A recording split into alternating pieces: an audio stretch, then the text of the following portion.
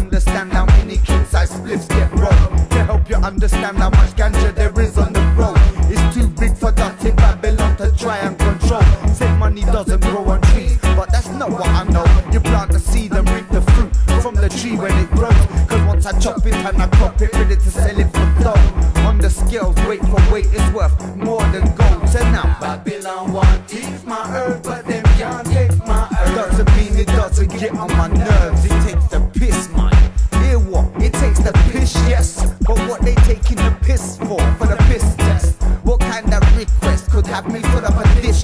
analyze my piss for traces of cannabis? Yeah.